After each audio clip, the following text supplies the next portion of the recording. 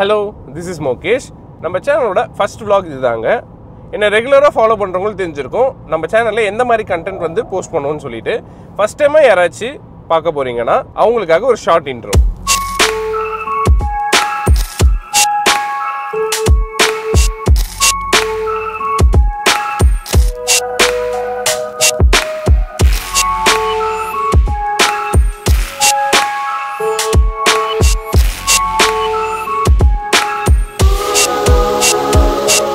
Foreign கண்ட்ரீஸ்லேருந்து கமோடிட்டிஸை எப்படி நம்ம இந்தியாவுக்கு கொண்டு வந்து அதை ட்ரேட் பண்ணுறாங்க அப்புறம் இந்தியாவில் இருக்க கமோடிட்டிஸை நம்ம ஃபாரின் கண்ட்ரியில் எப்படி ட்ரேட் பண்ணுறோன்றத பற்றி தாங்க நம்மளோட சேனல் இருக்க போகுது. நம்ம துபாய்க்கு ரெகுலராக கோகனட் எக்ஸ்போர்ட் பண்ணிட்டு இருக்கோங்க. இது எப்படி பர்ச்சேஸ் பண்ணுறோன்றத பற்றி தான் இந்த வீடியோ இருக்க போகுது.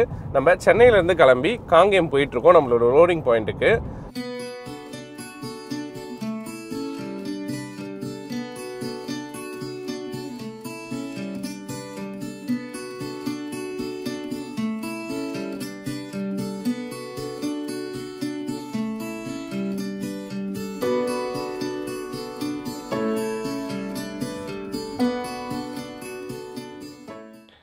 இப்போ நம்ம எங்கே இருக்கோம்னு பார்த்தீங்கன்னா காங்கேயத்தில் இருக்கோம். இது என்னென்னு உங்களுக்கு தெரியுதா பாருங்கள் கொஞ்சம். யாராச்சும் கோகனட் பிஸ்னஸில் இருந்தீங்கன்னா கண்டிப்பாக தெரிஞ்சிருக்கும்.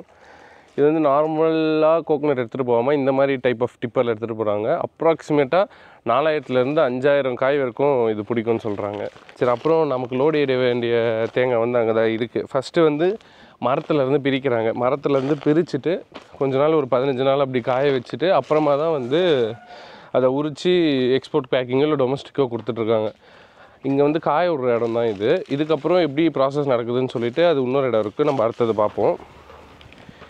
இப்போ இது எப்படி சார் இந்த காயெலாம் ரேண்டமாக வருமா? இல்லை இளநீருக்கு போகாத ரிஜெக்ட் ஆகி வர்றது தான் தேங்காய்க்குன்னு? இல்லை இதுக்குன்னு தனியாக எடுக்க மாட்டாங்க. ஆ ஓகே நம்ம ஏரியா ஃபுல்லாக வந்து பார்த்தீங்கன்னா இதுக்கு தான். தேங்காய் தேங்காய் தான். தேங்காய். இளநீக்கு உள்ளதை வந்து தேங்காய்க்கு எடுக்க முடியாது. சரி சரி சரி. இப்போ இந்த மாதிரி பச்சையா இருக்குல்ல? ஆமாம் ஆமாம் இந்த மாதிரி பச்சையா இருக்கிறது எடுக்க மாட்டாங்க. நாங்கள் மேலே க கலர் மாதிரி இருப்பார் ஆமாங்க சார். அது இப்போ கட் பண்ணிட்டு வரும்போது இப்படி பச்சையாக இருக்கும். ம். கொண்டு வந்து ஒரு ஃபிஃப்டீன் டுவெண்ட்டி டேஸ் போட்டாங்கன்னா அங்கே கலர் மாறுது பாருங்க சென்டரில் இப்படி பார்த்தோன்னா இப்போ லோடு இறக்கிட்டு இருக்காங்க.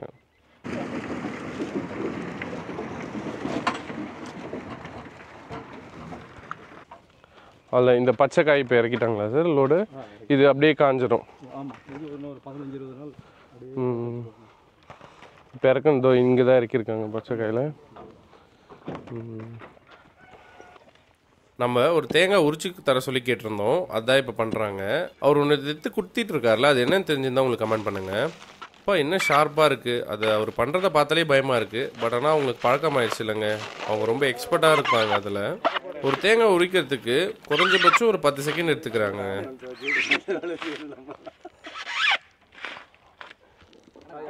இப்போ நமக்கு பார்த்தீங்கன்னா வெயிட் போட்டிருக்காங்க. இது ஈரத்தோடு இருக்கிறதுனால இவ்வளோ கிராம் இருக்குது இது வெயிலில் காஞ்சிச்சுன்னா இன்னும் வெயிட் குறைய கூட வாய்ப்பு இருக்குங்க. ஓகே ஓகே ஒரு காய் அப்ராக்சிமேட்டாக ஐநூறு கிராம் மேலே இருக்குது கரெக்ட்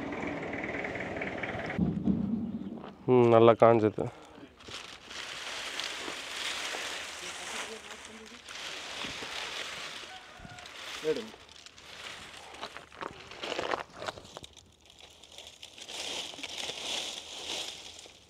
ம்.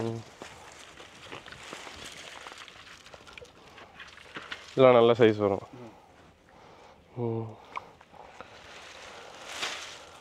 காஞ்சி நல்லா வெயிட் இருக்கு. ஆஹா. என்ன கணம் என்ன கணம்? இந்த கணத்தோடையே நமக்கு துபாய்க்கு போயிடுச்சுன்னா பிரச்சனை இல்லைங்க. அங்கே போயிட்டு வெயிட் ஏதாச்சும் ரெடியூஸ் ஆயிடுச்சுன்னா நம்ம பையர் நம்ம கிட்ட கட்டிங் போட்டுருவாரு. இப்போ நம்ம ஃபார்மர் பிளேஸ்லேருந்து லோடிங் பாயிண்ட்டுக்கு போயிட்டு இருக்கோங்க. அங்கே போயிட்டு இது என்ன கணம் இருக்குன்றத பார்த்துருவோம்.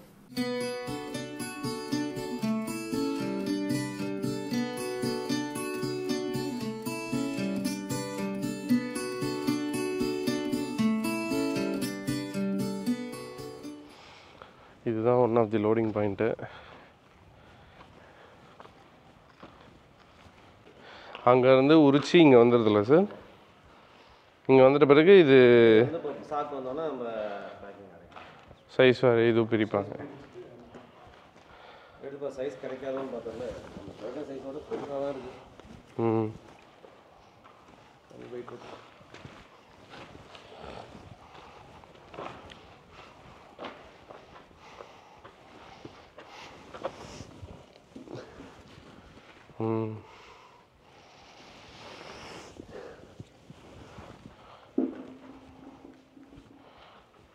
இப்போ நமக்கு அங்கே ஃபார்மல் பிளேஸ்லேருந்து இங்கே வந்துடுது. இங்கே தான் வந்து நமக்கு பேக்கிங் நடக்குது.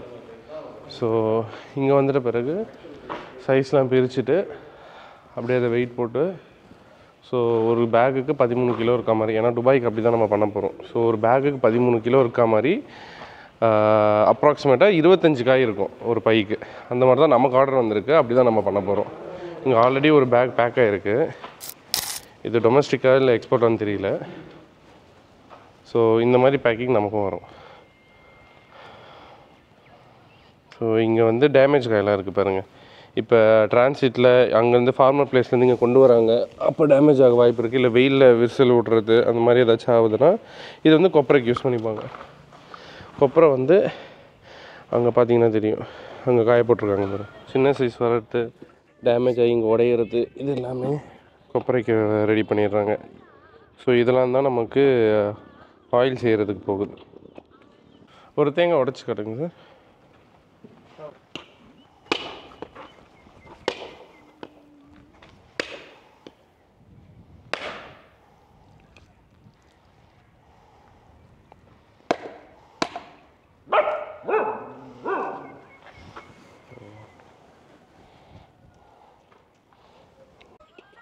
இப்போ நம்ம எங்கே வந்திருக்கோம்னு பார்த்தீங்கன்னா நமக்கு அங்கே வந்து கோகோனட்டை வந்து மரத்துலேருந்து பிரித்து அதை ட்ரை பண்ணாங்க. அதுக்கப்புறமா அது உரித்த பிறகு இந்த மாதிரி இடத்துக்கு கொண்டு வராங்க.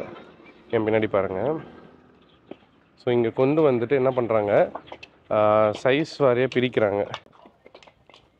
ஸோ இதில் சின்ன சின்ன சைஸ்லாம் இருக்குது இங்கே இருக்கிறதுல. இதில் வந்து பெரிய சைஸ்லாம் வருது. சிந்தையிரு.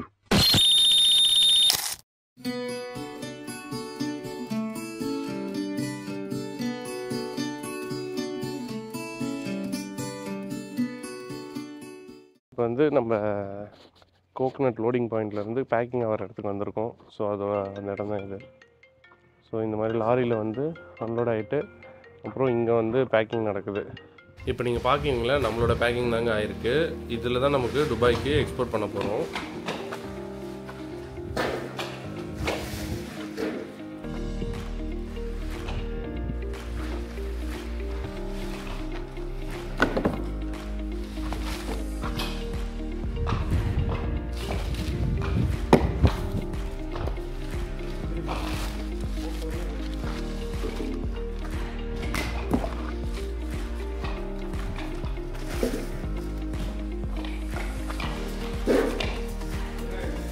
ஸோ ஃபஸ்ட்டு பேட்ச் வந்து பேக் பண்ண ஸ்டார்ட் பண்ணிட்டாங்க. ஒரு ஒரு பேக்லேயும் இருபத்தஞ்சு காய் இருக்கும். ஒரு பேக் அப்ராக்சிமேட்டாக பதிமூணு கிலோவுக்கு மேலே இருக்கணுங்க. அதுதான் நம்மளோட பையர் ரெக்குயர்மெண்ட்டு அதுக்கேற்ற மாதிரி தான் நம்மளோட சப்ளையர் வந்து பேக்கிங் பண்ணிட்டு இருக்காங்க. கோகோனட் ரிலேட்டட் பிஸ்னஸில் யாராச்சும் இருக்கீங்க இல்லை உங்களால் எனக்கு சப்ளை பண்ண முடியும்னா தாராளமாக நீங்கள் எனக்கு சப்ளை பண்ணலாங்க. நான் என்னோட நம்பரும் அப்புறம் மெயில் ஐடியும் கொடுக்குறேன். உங்களோட பெஸ்ட் ரேட் எனக்கு ரெகுலராக கோட் பண்ணுங்க. கண்டிப்பாக உங்ககிட்டயும் நான் பர்ச்சேஸ் பண்ணிக்கிறேங்க. யூஸ்வலாக கோகனட் வந்து ரெண்டு டைப்பாக எக்ஸ்போர்ட் பண்ணுவாங்க லோடிங் பாயிண்ட்டுக்கே கண்டெய்னரை கொண்டு வந்துட்டு இங்கேயே வந்து கண்டெய்னரை சீல் பண்ணி போர்ட்டுக்கு எடுத்து போய் கிளியரன்ஸ் பண்ணி எக்ஸ்போர்ட் ஆகும்.